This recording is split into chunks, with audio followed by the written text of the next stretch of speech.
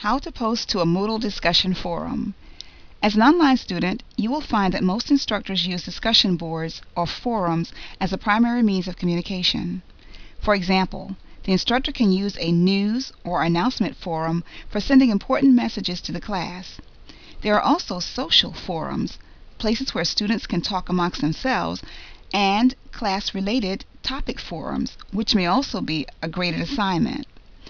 Forums can be used in a variety of ways. It will be up to the instructor to determine which type to use.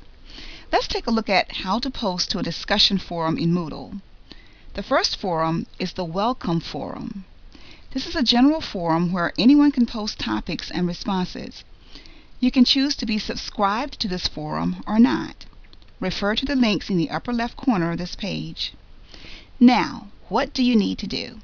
Here the instructor has neatly defined the directions. They are 1. Post a question you might have about online learning. 2. Read and respond to another student's posting.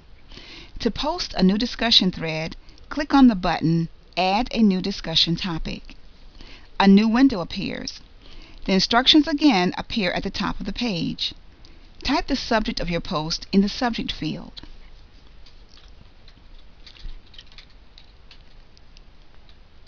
Next, type the body of your message. Note the editing toolbar at the top of the message box. These should look somewhat familiar to anyone who has used Microsoft Office or Microsoft Works. This is a full text editor. You can change the appearance of your text, add a picture, insert a smiley face, and even check your spelling. Always a good idea. When you're finished, scroll down.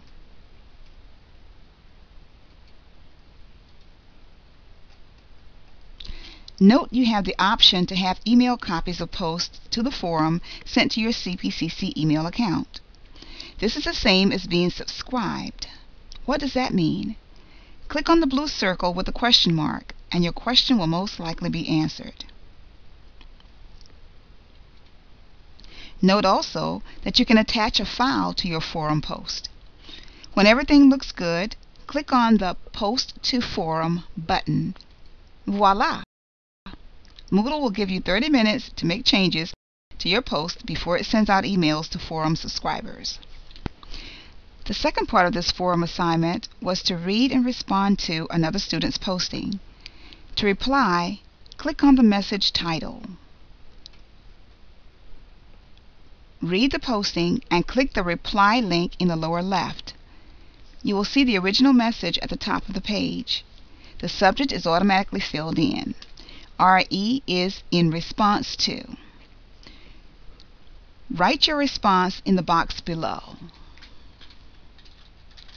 Looks familiar? Yes.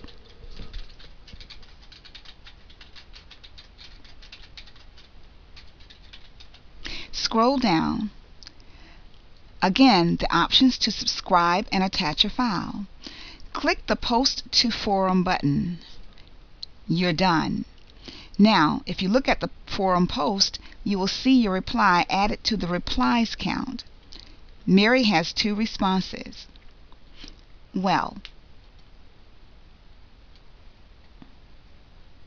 this is a brief overview of how to post and reply to a forum topic. A lot of information can be shared in discussion forums. You'll have the opportunity to learn from and share with your classmates. If you have any questions about proper conduct online, check out the Netiquette Guide under the Student Resources box on the Moodle main page. Remember, contact your instructor if you have content questions or call the ITS Help Desk at 704 330 5000 for technical help. Thanks for watching.